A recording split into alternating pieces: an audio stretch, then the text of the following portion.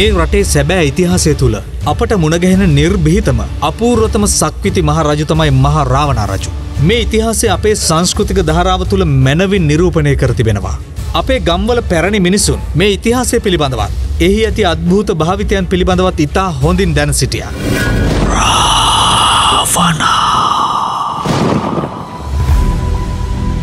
ඔවුන් ඒ දේවල් වලින් තමන්ටත් රටටත් බොහෝ සේවය කළා.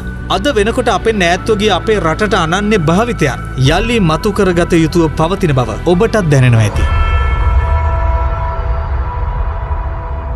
අන්තර්ජාල භාවිතය නිසා කෘතිම තත්ත්වයට පත්ව ඇති මිනිසා යල්ලි මහපොළොව සමඟ ඒකාත්මික වන දිනයක් උදාකර නොගත්තොත් ජාතිය ඉදිරි ගමන අඩ්ඩ පණවෙන්න ඒක හේතුවක් වේවි. ඔබටත් මටත් තියෙන ප්‍රබලතම අභියෝගය තමයි. පැරණි ජන සමාජයේ භාවිතයනුත් ජන විඤ්ඥානය පිළිබඳව පරාසයනුත් අවබෝධ කර ගැනීම.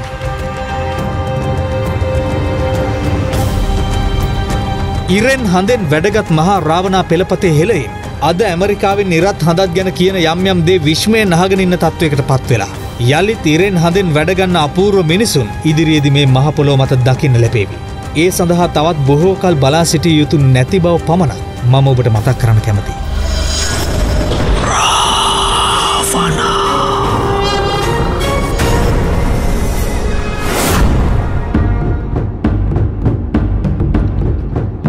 මහා රාවණ ඉතිහාසය පිළිබඳ කරුණු ගවේශණය කරන ඔබට බෞද්ධ දර්ශනය අමතක කර කිසිවක් කළ නොහැකි.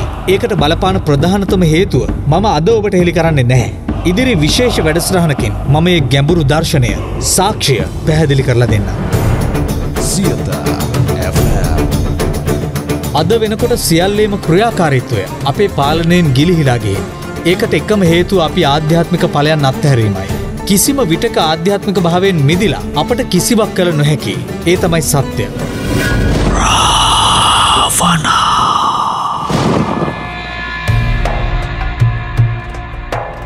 ඒත් අපි අද වෙනකොට ආධ්‍යාත්මික භාවේ මිහිර විඳින්න තබා. ඒ සඳහා සූදානම් වෙන්න කොහොමද කියලවත් අද සමාජය හරිහටි දන්නේ නැහැ. වර්තමාන පරපුරේ මනස ඉතා සූක්ෂම විදිහට මරා දමල අවසන්. මේ වෙද්දි වෙළඳ පොලට එන ජංගම දුරකතනවල තිරේ ඔස්සේ මොලේ තිබෙන විශේෂ සෛල විනාශ කරන කිරණ ඉතා පහසුවෙන් ඒ කාර්ය සිදු කරමින් ඉන්නවා. ඔබ ඔබෙන් මහල බලන්න. දවසේ ඇහැරලා ඉන්න පැය කිහිපේ ඔබ වැඩි පුරම ඉන්න දුරකතනයක් එක්ක නෙවෙයිද කියලා. නැගිටින්න ෆෝන් එකේ තිරේ දිහාවේ බලලනම්. නිදාගන්නෙත් ෆෝන් එකේ තිරේ දිහාවේ බලලනම් ඔබ තේරුම් ගන්න අවශ්‍ය දෙයක් තියෙනවා. ඒ තමයි. ඔබේ විනාශය ආරම්භ වී අවසන් බව.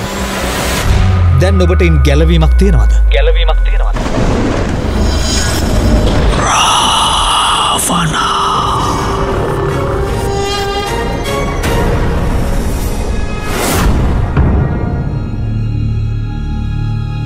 ජංගම දුරකතනයට ඇබ්බැහිවීම මත්පැන් වලට වන ඇබ්බැහියට වඩා වැඩි බවයි සත්‍යය. මත්පැන් වලට ඇබ්බැහිවුණු මිනිස්සු කොච්චරවත් කියවනවා. එහෙම නැත්තන් සිින්දු කියනවා. අඩ්ඩුම තරමින් කාත්තෙක් හරි රණ්ඩුවක් හරි වෙනවා. ඊට සාපේක්ෂෝ දැන් දුරකතනවලට ඇබ්බැහි වුණු පරම්පරාව ගැන හිතන්න. කිසිවකු සමඟ කිසිම ගණුදිනුවක් නැති. කටින් එක වචනයක් පිට නොවෙන කෘතිීම නිහඬ රූප පමණයි.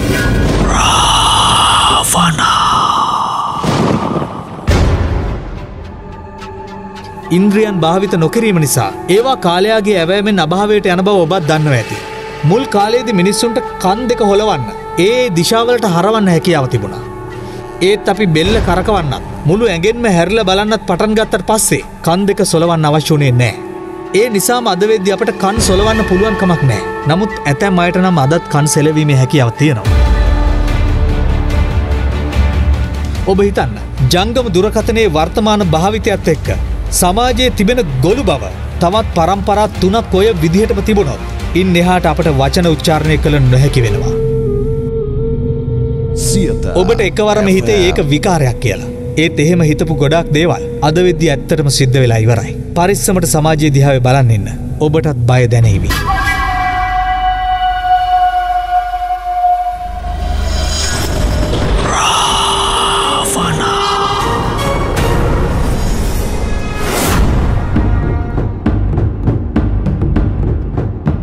මහා රාවණ යුගේ සමාජත් අද සමාජත් දිහාවේ බලනකොට දරාගත නොහැකි තරමේ බර පතල දුකක් දැනෙන එක කිසිවකුට වැලැක්විය නොහැකි තරම්.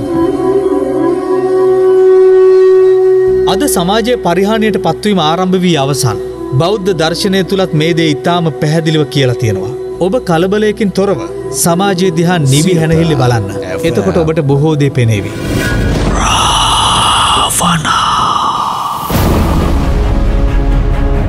කිසිම අරමුණක් නැතිව සමාජයේ එහා මෙහා දුවන විඳවන මිනිස්සු ඔබට දකින්න පුළුවන් වේවි.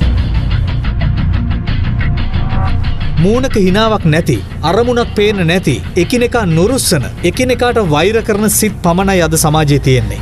යහපත් මිනිස්සු කියල කොටසක් නැති වුණත් සාපේක්ෂ වශයෙන් යහපත් සිතුවිලි වැඩි ප්‍රමාණයක් ඇති මිනිසුන් ඉතා මාඩු. දිව්‍ය බ්‍රහ්ම ලෝකවලින් පෘතිවයට ආව ඇවිත් තමන්ගේ කාර්ය අඳුනගත්තු අය පමණක් ලෝකයට අනුකම්පාවෙන් බොහෝ දේ මතවාදීමේ වශයෙන් හෝ සිදු කරමින් ඉන්නවා. රාවණ යුගේ සිටි ප්‍රඥාවන්ත හෙළ පුත්‍රයින් හා දියනිවරණුත් ආධ්‍යාත්මික භාවේ එක් එක් පලයන්ගේ මිහිර අත් නොහැර විඳි අයයි. අද වෙද්දි මේ ආධ්‍යාත්මික පළවල රසය නොදන්න නිසා රාගයට දවේශයටම බැඳෙන එයින් රසයක් හොයෙන අන්ද වූ පරම්පරාවක් බිහිවී තිබීම කන ගාටුවෙන් වුවත් කිව යුතුයි. ඔබත් මමත්තේ රැලට හසු අවසන්. ඒ තුඩුගම්බලා පිහිනීම දැන්ම අරඹන්න. එතකොට විතරක් නිවැරදිීමට ළඟාවෙන් අපට පුළුවන්කම ලැබේවි.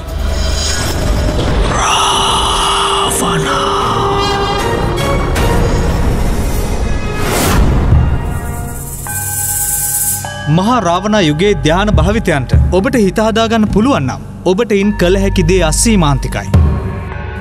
බාහිර ලෝකෙන් ධ්‍යාන ලබාගන්න බෑ එය සිදුකරගන්න පුළුවන් තමා තුළින්ම පමණයි. තමන් වැනිම වූ තවත් සිරුරක් මැවීම තමන් වැනිම තවත් සිරුරු ගණනාවක් මැවීම. අහසින් යෑම සිටි තැනින් එකවර අතුරුදන් වී වෙනත් තැනක පෙනී සිටීම පොළොවේ කිමිදීම සයුර මත ඇවිදීමාදී බොහෝ ශක්තිීන් ඔබට ඔබ තුළින්ම අවධි කරගන්න ධ්‍යාන මගින් පුළුවන්කම ලැබෙනවා.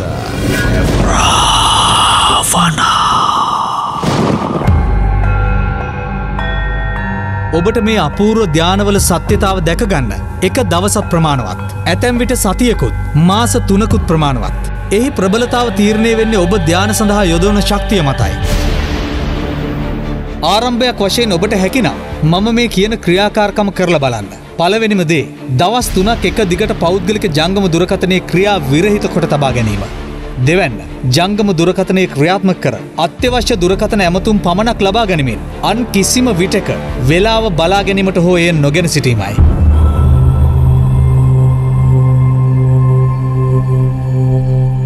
හිතට එකඟ ඔබට මේ ක්‍රියාකාරකම් දෙක සාර්ථකව කළ හැකිනම් ඔබට ධ්‍යාන ගැන හිතන්න හිමිකම ලැබෙනවා. ඒ දෙක ඔබට කරගන්න බැරිනම් ඔබ දැන් බයවුනාට කමක් නෑ. මොකද ඔබට කොහොමත් බ්‍රහ්මලෝක විස්සත් දිව්‍යලෝක හයත් අභිමුඛ සියලු දොරටු වැසී අවසන්. අපි හිට රාත්‍රී හතයි එකට මුණගහෙමු. මීට මීට සහස්්‍රමු කරාවන සහස්්‍රමු කරාවන.